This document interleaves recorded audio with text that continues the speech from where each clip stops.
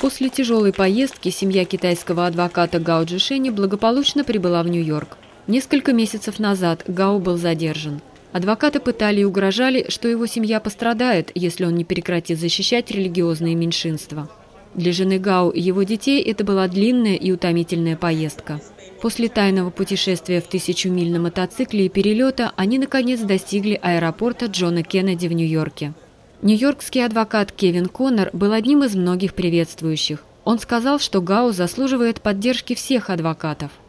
Мы должны выразить поддержку настолько, насколько сможем, и заставить людей понять, насколько это важно. Мы надеемся, что американское правительство сделает больше. Я знаю, что нынешняя администрация имеет такие замыслы.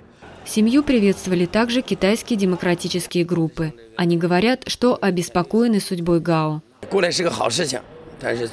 Наиболее важно было спасти Гао Джишеня. Это общая цель наших заграничных друзей. Ведь теперь китайские власти даже похитили адвоката. Даже адвокаты преследуются. Вот как попираются права человека в Китае.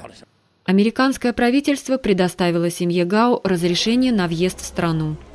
НТД, Нью-Йорк.